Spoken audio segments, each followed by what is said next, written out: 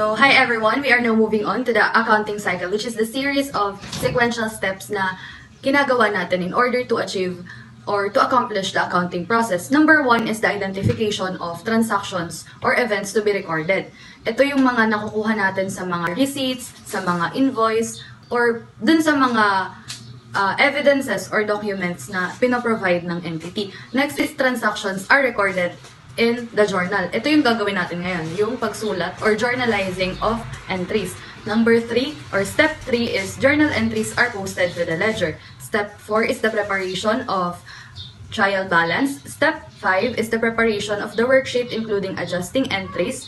Step 6 is the preparation of financial statements. Step 7 is adjusting journal entries are journalized and posted. Step 8 is closing journal entries are journalized and posted. Step 9 is the preparation of a post-closing trial balance. And lastly, the reversing journal entries are journalized and posted. Our step 10 is optional. Hindi siya required dun sa accounting process. But, uh, makakatulong pa rin siya since part siya ng accounting process.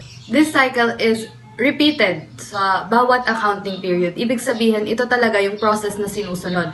Yung 10 steps. Now, the first three steps in accounting, yung identification ng events to be recorded, yung pagsulat natin sa journal, tsaka yung pag-post natin sa ledger, ina-accomplish yung tatlo na yon during the period. While the fourth hanggang sa ninth step, ginagawa siya at the end of the uh, of the period. Tapos yung last step, optional lang siya.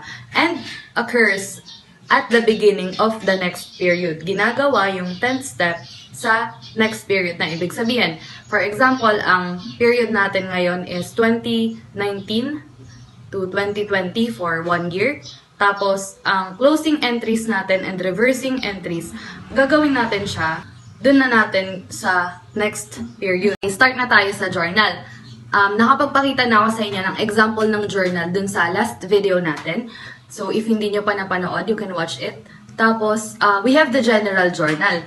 Ang general journal ay tinatawag din na book of original entries. So, dun natin ginagawa ang debits and credits. Now, the journal is a chronological record daw. Sunod-sunod siya ng transactions. Ibig sabihin, kung ano yung unang nangyari, iyon yung i-record mong una. For example, ang date ngayon is June.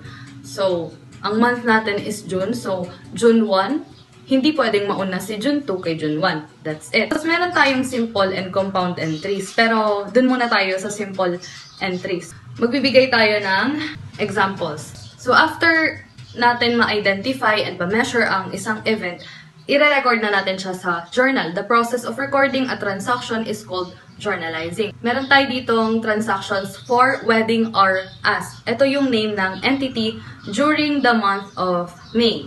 Sabihin na natin May kasi ah, natapos na ang May. So, let's begin with the transactions. Start tayo sa May 1, syempre. So, upon the advice and prodding of an esteemed colleague, Ben Dalindandicho, si Maria Concepcion Jennifer Perez Manalo, the owner, nag-decide siya to organize her wedding consultancy. So, she invested 250,000 into this entity dun sa um, wedding or us. Now, ang journal entry is, I have here now the journal. Don't forget to write the headings para sa bawat column. So, we have the date, the account titles and explanations, the TR or the posting reference, debit, and the credit. So, for the date, we have the year 2020 and the month May. Tapos, one is the day. And then, for the debit, we have cash sa extreme left. Tapos, indented si credit, which is capital or Perez Manalo Capital and the description or the explanation of the transaction na magagamit pa rin natin further. Tapos, so the debit, this is the column for the debit, always, and the credit. Hindi sila pwedeng magsama, no? Now, cash is 250,000 and credit capital is 250,000. Dito na natin maa-apply yung nasa first video natin sa uh, acronym na DC Adler, no? Dito na natin siya magagamit. Cash is an asset, debit, no? Tapos, capital siya, si credit is equity. So, kasama siya sa LER. Next is, May 1 pa rin. So, rent paid in advance. Exchange of assets to. May 1, She rented an office space and paid 2 months rent in advance, 8,000 pesos. Transaction natin, we have to leave one space bago natin siya i-enter. Now, ang day pa rin natin is 1. Hindi na natin i-rewrite si 2020 and May. Diretso na. Prepaid rent is debit. Tapos, cash is credit. 8,000 pesos. Ang explanation is paid rent in advance.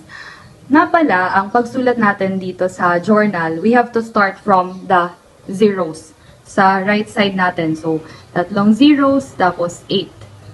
Dito ang uh, ones, tens, hundreds, thousands, ten thousands, and hundred thousands. Ito, for the peso sign to.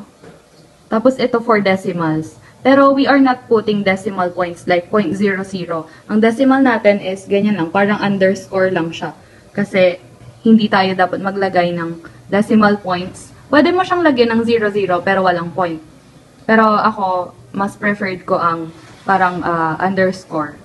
So, next transaction natin is May 2. Si Maria Concepcion, Jennifer Perez Manalo, nag-issue siya ng promissory note para sa 210,000 pesos na loan niya from Metrobank. Ibig sabihin, umutang siya sa Metrobank.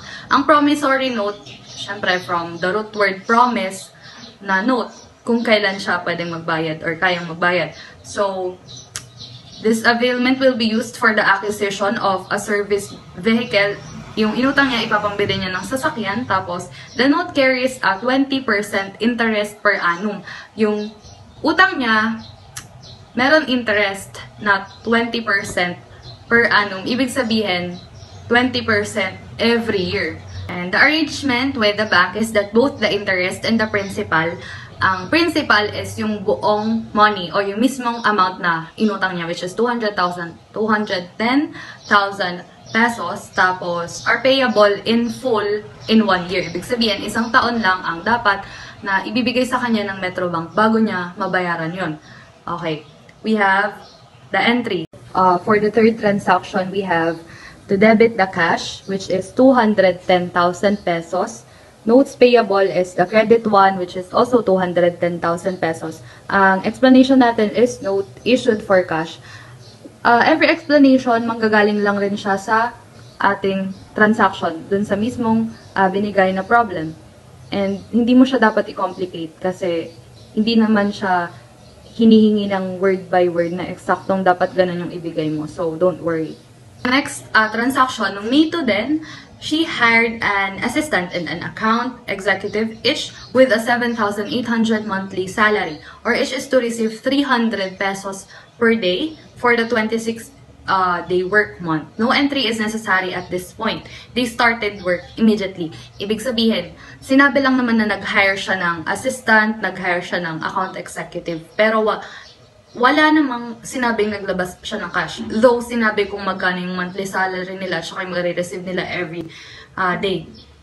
Okay? Kasi 'di ba, I've told you before dun ulit sa last video natin na hindi lahat ng transactions or ng events ay masasabi nating accountable o worthy na i-record natin sa journal or isama natin dun sa mga gagawin natin na financial statements. In that case, hindi naman required na talagang ilagay natin sa journal ang no entry. But it makes sense kasi para matrack mo pa rin kung anong nangyari sa mga transactions. Hindi ka naman mamamali dyan. Kasi wala naman talagang entry. Para lang uh, organized ka pa rin. So, next transaction. May 4, she acquired service vehicle for 420,000 pesos. Ang entry natin dyan, first, May 4, no? We have the debit service vehicle, 420,000 pesos, and cash is the credit, 420,000 pesos. Ang explanation natin dyan is um, acquisition of service vehicle. So,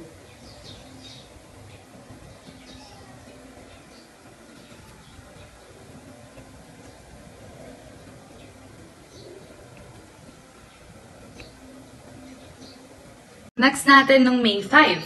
She acquired an office equipment, no? Uh, from Fair and Square Exporium for 60,000 pesos. She paid 50,000 in cash. Tapos, and the, bal the balance will be paid next month. So, meron tayong compound entry for this transaction. So, pay attention. 5. Debit natin office equipment which is 60,000 pesos. Sabi nagbayad siya ng cash 15,000 pesos. So, yun ang credit natin since decrease siya sa cash. Tapos, meron din siyang nadagdag na liability which is part ng credit natin na 45,000. So, when we add 15,000 na cash niya, tapos yung utang niya pa ng 45,000, 60,000 ang total, which is the historical cost of our office equipment. Office equipment is debit kasi asset siya, increase siya sa asset. Okay? Next transaction natin is May 8.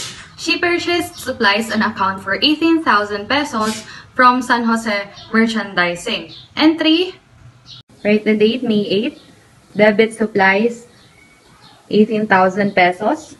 And accounts payable since binili niya nga raw on account. So liability siya, utang siya, credit, 18,000 pesos. And the explanation is supplies purchased on account. So kinabukasan, May 9, she paid San Jose Merchandising 10,000 of the amount owed. Ibig sabihin, di ba may utang siya, may accounts payable siya kahapon na 18,000 pesos for the supplies. Ngayon, nagbayad siya ng 10,000 pesos. Ang entry natin dyan, okay, May 9, we have to debit the accounts payable since she is settling her liability. Ibig sabihin, hindi porket liability ka, ilalagay mo siya sa credit kagaya nung nasa acronym natin kasi ang ibig sabihin nun, increase ng liability. Now, kapag magbabayad na siya, you have to debit it kasi nga, it is a decrease in liability kasi isi-settle niya na yung obligation niya doon sa um, merchandising. Now, uh, accounts payable, debit, 10,000 pesos, credit ng cash since mababawasan rin ang asset, di ba? Increase ng asset ay debit, ang decrease niya ay credit. So, cash is 10,000 pesos. Ang explanation is accounts payable, partially settled. May 10. So, coordinated and finalized simple bridal arrangement for three couples and collected fees for uh, 8,800 per couple. Ibig sabihin, nag-conduct na sila, nag-provide na sila ng service doon sa mga couple, sa mga kinasal or ikakasal. No? Bawat couple daw, 8,800. Yung service nila, it includes prospecting and selecting the church and reception location, the uh, caterer, the car service, the flowers, the souvenirs, and the invitations. Ang entry, ang sabi, 8,800 daw per couple. Eh, 3 ang couple. So, multiply natin sa 3. It is equal to 26,400. So, we have to debit the cash. Kasi nga, di ba nakakollect siya ng cash doon sa mga uh, customers. Now, cash is 26,400 debit kasi increase siya sa asset.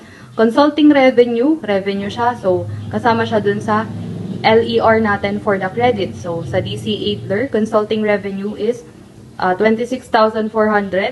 So, ang explanation is revenues earned and cash collected. Next transaction, we have the salaries paid. Oh, sabi, she paid salary 6,600 pesos. The entity pays uh, salaries every two Saturdays. Once na napuno na natin yung isang page ng journal, ayan, Ayan, puno na siya. So, pwede na tayong mag-start ng panibagong page. But, kapag nag-start tayo ng panibagong page, don't forget, don't forget to write the headings pa rin. You have the date, the account titles and explanations, the PR, the posting reference, debit, and the credit. Tapos, ganito ulit, year and the month pa rin ang ilalagay natin. Tapos, dito pa rin ang days. Okay? Let's go. Puno na yung uh, isa nating journal, so we have to start another page. So, Sulat ulit ang mga headings ng bawat column. For the date, we have uh, May 2020 and 13. May 13, debit salaries expense, which is 6,600. Credit cash, 6,600. Ang description natin is salaries paid. Since expense siya, kaya debit siya.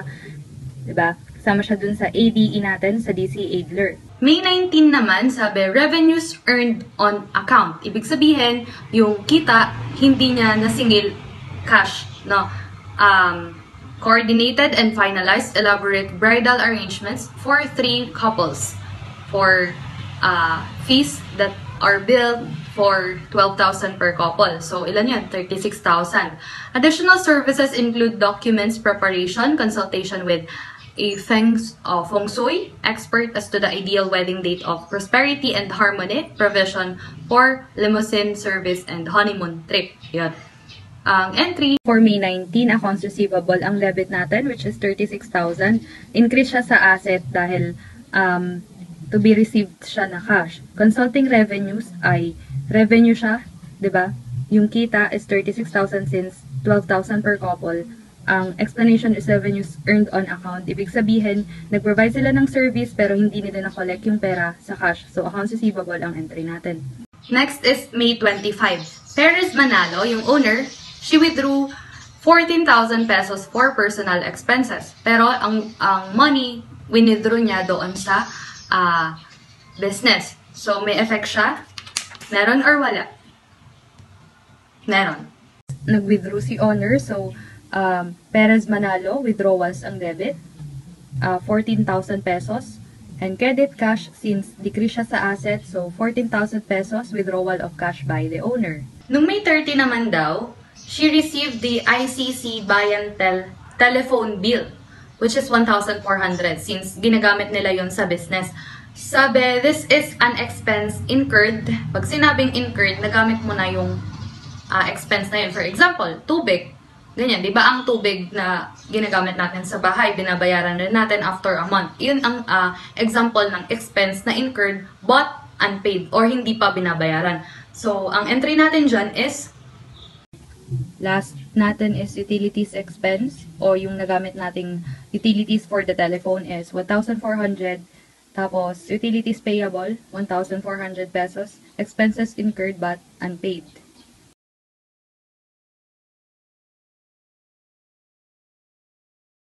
Na-collect niya yung accounts receivable niya from the transaction dito sa ah, May 19 dun sa hindi nagbayad ng cash, magiging ah, credit na natin si accounts receivable, debit si cash. Increase ng asset, 24,000 pesos. Accounts receivable, 22,000 24,000 pesos. Dahil sabi partially collected lang, 24,000 lang ang binayaran ni ah, customer.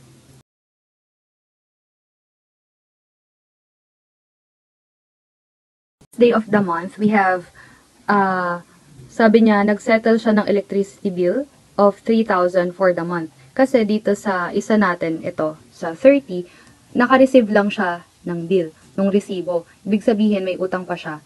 And hindi niya pa binabayaran yun. Dito, nagbayad siya. Sabi, settled kasi. So, nagbayad siya ng utilities expense kasi dapat i-debit siya dahil decrease na siya ng expense natin, 3,000 pesos and cash decrease ng asset which is 3,000 pesos as well.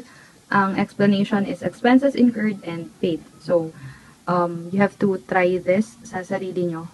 Practice your own, tapos I'll be giving examples next time. Quiz tayo, parang ganun. And then check your own answers, be honest, and help yourself grow and improve every day. Good luck!